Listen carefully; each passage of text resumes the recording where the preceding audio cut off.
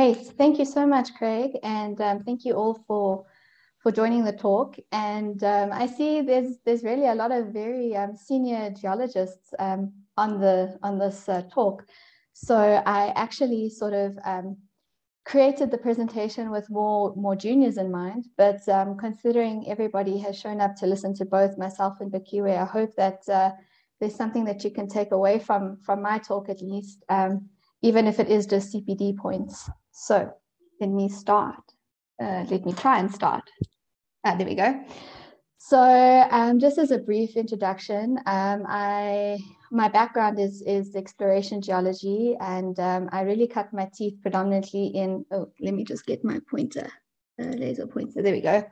Um, so I, I really cut my teeth in the exploration field within Mozambique, and I spent the the first few years um, learning the fundamentals and the, the foundation within Mozambique. But since then, I've had a lot of exposure to a lot of different commodities.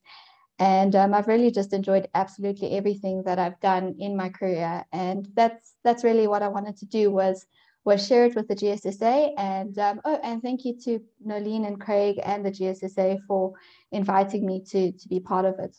So, like I said, um, you know, I had designed this this whole uh, presentation predominantly for for the younger um, younger ge- uh, geosciences or geoscientists rather. Um, so I hope. Uh, sorry, I must just hide my thumbnail because it was dancing all over my um, my presentation.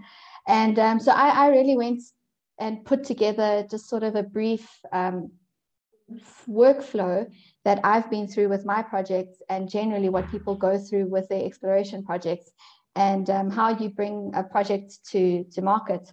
So the, the first thing that um, we, or I did, and generally a generic project does in, in general, is your literature and desktop study where you go and you identify a suitable region and all of its um, geological uh, influence around that, that area that you're interested in. And that was what we started off with. And my first job, uh, if it will allow me, so Craig's given me also the, the host's, um, uh, I'm also a co-host, so it's, it's just a bit delayed with allowing me to, to do access on my uh, presentation, so apologies for that.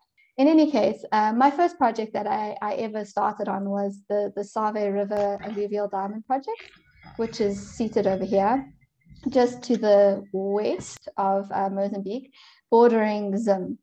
And um, this really did all start with the desktops theory, and that um, there was diamonds here in the highlands of the Marange fields that then traveled down the um, River and then entered down to um, the project location that we were looking at. And um, the theory was that there was a change in gradients, and where our project was based over here, that's where the um, the, the river would have dumped all of its alluvials and diamonds. So that was really our theory and our desktop studies. And this is where we then started our project. So um, geologically, we were after the gravels. And so we looked at different terraces and we focused on this region, uh, this alluvial project that you can see.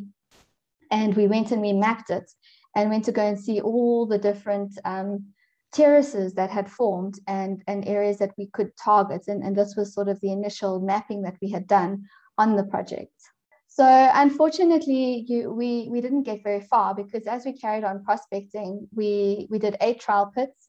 Um, with regards to an alluvial project, you can't do assays because you're looking for diamonds and the um, homogeneity is, is not too consistent. So um, we instead, you do all in most alluvial projects, uh, at least diamond alluvial projects, you'll do trial sampling, uh, which we used a barrel screen over here. And then it went into two uh, 16 foot pans, which we then took this concentrate into a feed bin. And then we used two jigs or to, to that the size fractions for us to then go and throw the uh, concentrate was left behind within these jigs onto a sorting table. And then we used to sort through the concentrates. Um, unfortunately, the, the actual economics of the project didn't allow for us as, as expats and the, the size of the project to run. So we did find diamonds, but economically it wasn't able to um, sustain the expenses that we went through as an exploration company. So that was really sort of the beginning part of that I had experienced was the um, desktop study that we had gone into. Then The second um, study as a, as a generic sort of um, exploration project, you would go into GIS regional and target selection. And um, here you would look at historical mineral um, occurrences, abandoned mines. We, you would see if you could find any remote sensing um, regarding economic deposits in the area, um, as well as any regional radiometrics, as well as magnetics. And then obviously any geochemistry that you can find within the area that would be able to help you uh, develop your project further. And with that, um, I was exposed to another project being the, the graphite um, in Mozambique up here in Montepuez. And that was really the our, our start of our project was again doing a desktop study and then looking at all forms of, of GIS that we could and um, any historical information we could find to develop the project further. So um, initially how we started is we looked at what um, other projects we, we knew about in the area. The one being um, Metals of Africa, being this, you know, aqua blue color. They um, indicated uh, mineral potential. And then Syrah, which is also very well known, which is this, re- oh, no, sorry, Syrah over here is the green, um, also very, very well known um, deposit. So the company that I worked for had these red tenements that were, uh, red, what am I saying? These black tenements over here. And so that's what we went to go and look for is what historical information. Oh, sorry. Um, there's just, sorry, Joel, your, um, let me just mute you. There we go. Because you're throwing me off a bit there. Alrighty. So what we did was we went to go and walk lines, EM lines, geophysics lines, perpendicular to the strike to see if that we were able to find any uh, mineralization that we could then further validate.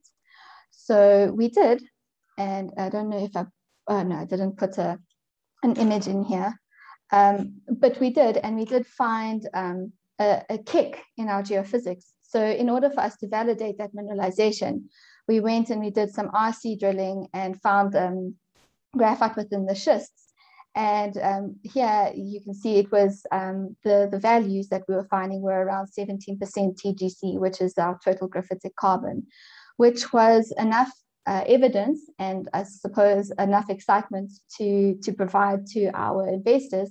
And they were then able to, um, or our, our funders were then able to, to raise enough money so that we could fly SkyTEM over the, the areas of interest so that we could then further go and drill with um, a bit of geophysics to, to guide us.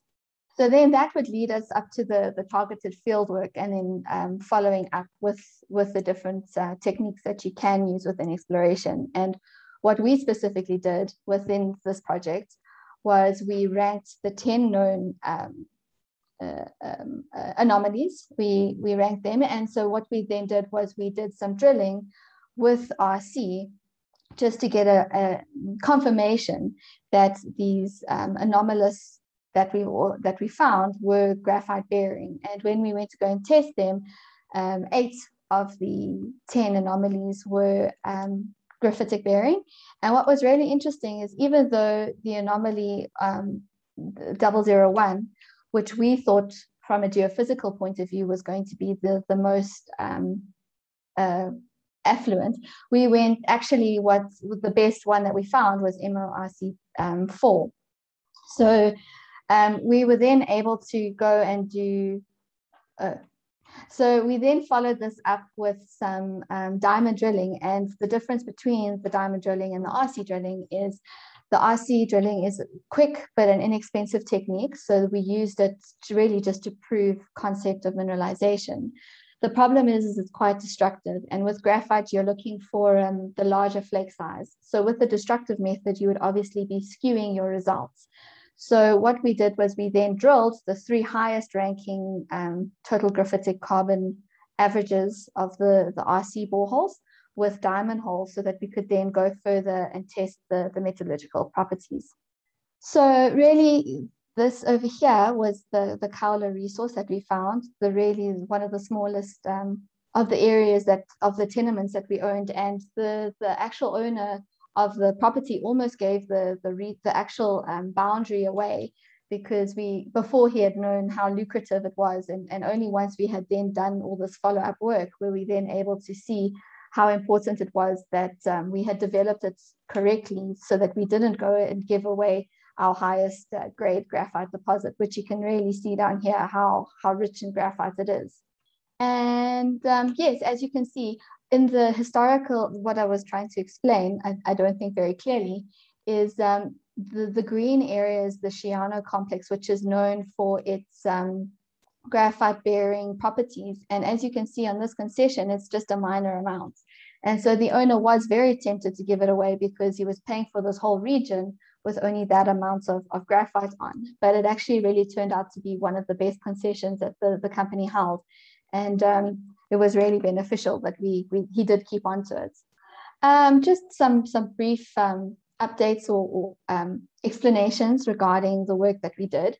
We then went and we drilled orientated core boreholes at an incline and um, we were able to see that the graphite uh, fitted within a, a, reclined isoclinal fold structure, um, which was roughly dipping, as you can see here, about 60 degrees towards the west. Um, we were able to um, declare a mineral resource of 2.1 million tons at an average grade of 13%, with the cutoff grade being 8%. And um, then the, the really nice part was it also had a byproduct of vanadium pentoxide um, running at 22 million tons at a 0.3% cutoff. So it was really quite a lucrative project.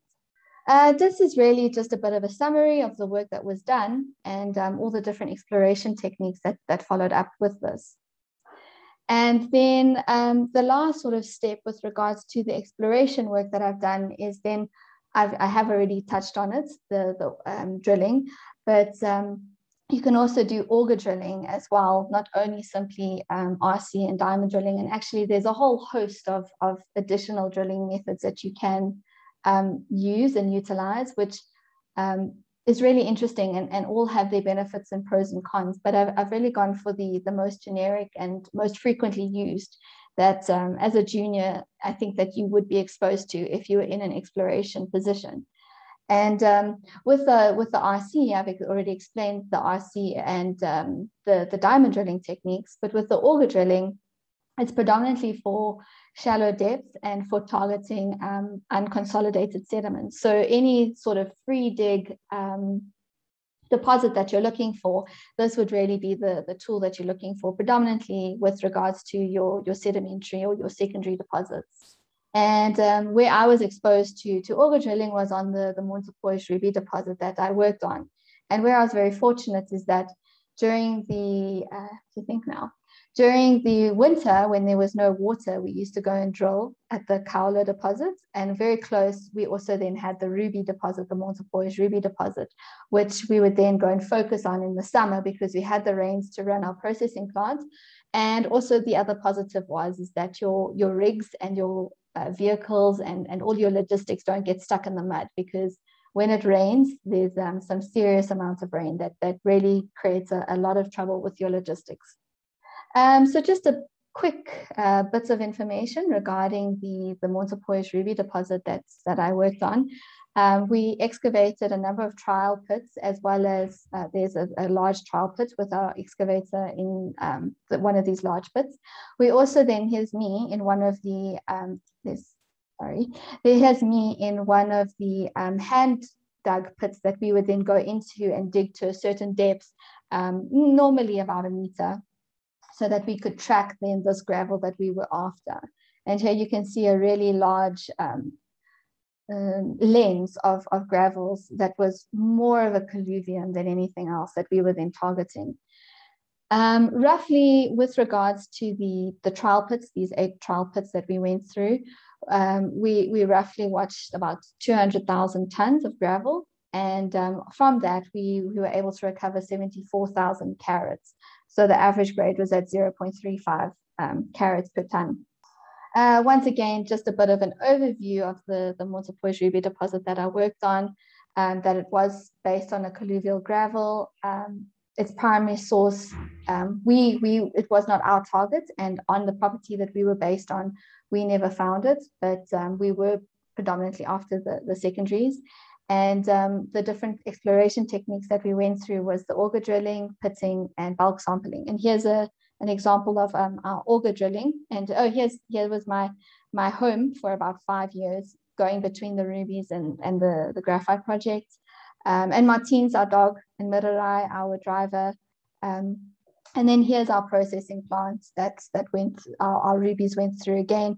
Very similar setup to the, the diamonds. Apologies, my phone is now making a noise. Um, oh, very similar setup to our diamonds um, our diamond processing plant where we had a scrubber that it went through and then went into two um, 16 foot pans and then up to a concentrator where we would then, not myself, but the um, the picking team would then pick up the, the rubies through um, the, the material that had, had been concentrated. So I, I did rush through that a bit because I could see from my um, audience that it was predominantly, like I say, um, experienced geos that, that were joining the talk. Um, and what I went to go and find out for, which uh, hopefully, you know, this is of a bit of interest from for, for the more experienced geos that are on the call, um, is that there's a definite trend within the, the exploration.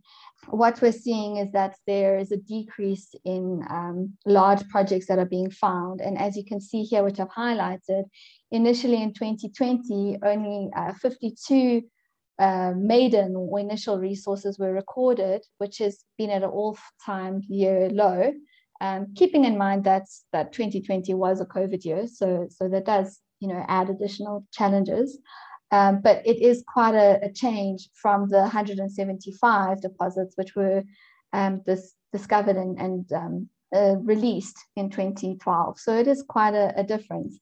And uh, another point is that in 2012, um, grassroots exploration was a third of um, exploration budgets, whereas now it, it's being spent on predominantly more brownfields or less risky projects, which for me is, is quite sad. And, and as you can see here, the majors are dominating the um, exploration playing field and are putting a lot more money into the, the um, projects than the intermediates or, or junior companies. Uh, and as I mentioned, you know, there is just a, a major discoveries are on the downtrend. And um, the, the research shows that the majority of countries or companies rather are changing its focus from an early stage asset exploration to a rather a advanced mine site uh, challenge. So that that's what we're currently doing. So and, and, another point that we can see is that during the down um, downturns, the finding deposits is, is much less, but that is to be expected because the, the money isn't as readily available. Another point that, that's been mentioned is that juniors are definitely opting to spend money on less risky projects and not so much on the green stage, early stage or green uh, grassroots and, and early stage explorations.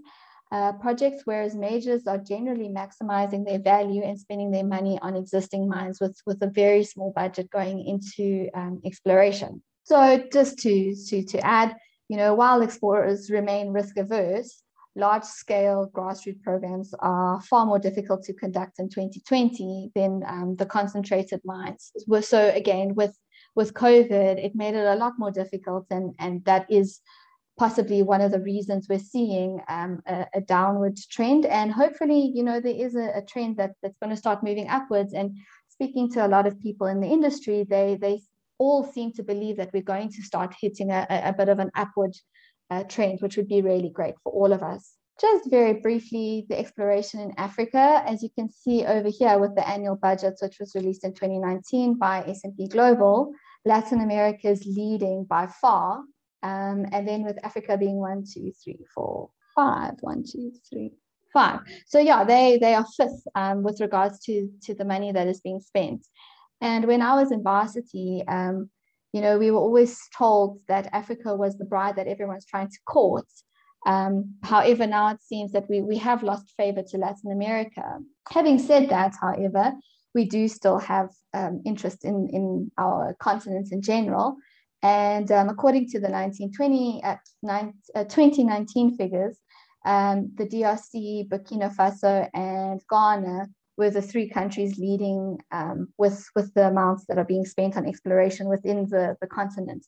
And what was interestingly enough, I, I haven't added this, but South Africa was actually fourth which is great news for us as South Africans that, that there is still interest that at least in 2019, money was still being put into exploration. So um, a bit of a concluding slide. Um, being an exploration geologist, you work extremely long hours and in extreme conditions, both in the heat and, and the cold. And um, for me personally, I always get quite filthy, and you don't have the luxury of deciding where your project is based. But the, the, the great thing is, is that exploration takes you to all these unexpected and remote areas that, that there's a lot of people who don't get the opportunity to do it. So why exploration? Um, for me, I, I really I love it. I, I find it rewarding, and that data collection helps you make informed decisions. And often, you know, you are at the make or break points when it comes to deciding on how to move forward with the project. Had such a great uh, memories and, and experiences. Here I am crossing the the mighty Limpopo on this little raft. Um, I've got to do great things and meet wonderful people. Um, so that's why for me, I love exploration. Then um, just in regards to, again, um, speaking to, to the geosciences and, and the career of, of being a, a geoscientist, um, you know, why am I here? I, I really feel that the future of geoscience is education, and which is why I wanted to share my experiences and and encourage the younger generation to to get involved and and be passionate about what they're doing and what they're studying. Um, as I mentioned, it's becoming more and more difficult for um, companies to bring on great deposits. And a lot of reports say that what's keeping our industry going is, is mainly mature mines.